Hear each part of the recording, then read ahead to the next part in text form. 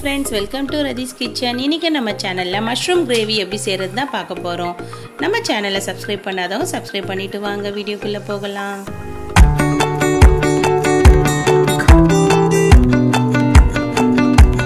நான் கால் kilo mushroom வாங்கி சுடு தண்ணியில் போட்டு அதை நான் க்ளீன் பண்ணி வச்சுருக்கேன். தண்ணியை வடித்து வச்சுக்கலாம்.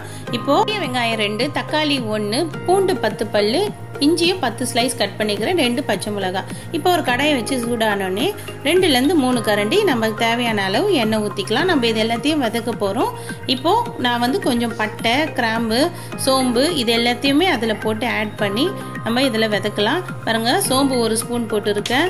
பட்டை கொஞ்சம் போட்டிருக்கேன். கிராம்பு ஒரு நாலஞ்சு கிராம்பு போட்டால் போதும். இப்போ நம்ம என்ன பண்ணலாம்? இதில் நல்லா விதக்கி எடுக்க போகிறோம் இந்த வெங்காயம் இருக்குது பார்த்து கட் பண்ணி வச்சுருக்கேன்ல அதையும் நம்ம விதைக்க போகிறோம் நம்ம இதெல்லாம் அரைக்க தான் போகிறோம் அதனால் பெரிய ஸ்லைஸாகவே நான் கட் பண்ணி வச்சுருக்கேன். பாருங்கள் போட்டு நல்லா கொஞ்சம் விதைக்கலாம்.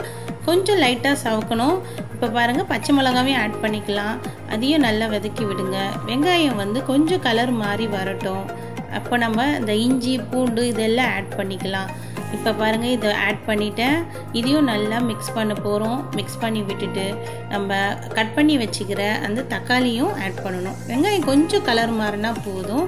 பாருங்கள் இந்த அளவு கலர் மாறிடுச்சு. நம்ம தக்காளியும் ஆட் பண்ணி நல்லா மிக்ஸ் பண்ணி விட்டுறோம் இப்போ இது கொஞ்சம் ஆறட்டும் நம்ம அரைச்சிடலாம். கடாய் வச்சு காஞ்சோடனே ரெண்டு ஸ்பூன் எண்ணெய் ஊற்றிருக்கேன் அதில் ஒரு ஸ்பூன் சோம்பு போட்டிருக்கேன். இப்போ கொஞ்சம் சவக்கட்டும். நம்ம கருவேப்பிலையை அதில் ஆட் பண்ணிக்கலாம். நம்ம எண்ணெய் வந்து கொஞ்சமாக ஊற்றினா போதும். ஏற்கனவே வந்து எண்ணெய் அதிகமாக விதக்கிறதுல ஊற்றிட்டோம் அதனால் கம்மியாக தான் ஊற்றிருக்கேன் சின்ன வெங்காயம் நாலு எடுத்து பொடியாக கட் பண்ணி வச்சு அதை போட்டு விதக்கிக்கலாம். கொஞ்சம் சவந்து வரட்டும். நம்ம சவந்து வந்தோடனே நம்ம அரைச்சி வச்சதெல்லாம் நம்ம ஆட் பண்ணிக்கலாம். இப்போது தேவையான சால்ட்டு வந்து நம்ம போட்டுக்க போகிறோம் இப்போ போட்டுட்டு அதையும் மிக்ஸ் பண்ணி விட்டுட்டு நம்ம இந்த இதுலேயே வந்து மஞ்சள் தூள் சில்லி பவுடர் கரம் மசாலா தனியாத்தூள் இது நாலுத்தையும் ஆட் பண்ணுறோம் சில்லி பவுடர் ரெண்டு ஸ்பூன் போட்டிருக்கேன். கரம் மசாலா ஒரு ஸ்பூன் போட்டிருக்கேன். தனியாத்தூளும் ஒரு ஸ்பூன் போட்டிருக்கேன். இப்போ பாருங்கள் அதில் அப்படியே விதக்கி விடுங்க. கொஞ்சம் ட்ரையாக தான் தெரியும். இருந்தாலும் பரவாயில்ல. ஏன்னா நம்ம ஆல்ரெடி அரைச்சி வச்சிட்ட பேஸ்ட் பேஸ்ட்லேயே நமக்கு அந்த ஆயில் இருக்கும். இப்போ நல்லா மிக்ஸ் பண்ணி விடுங்க.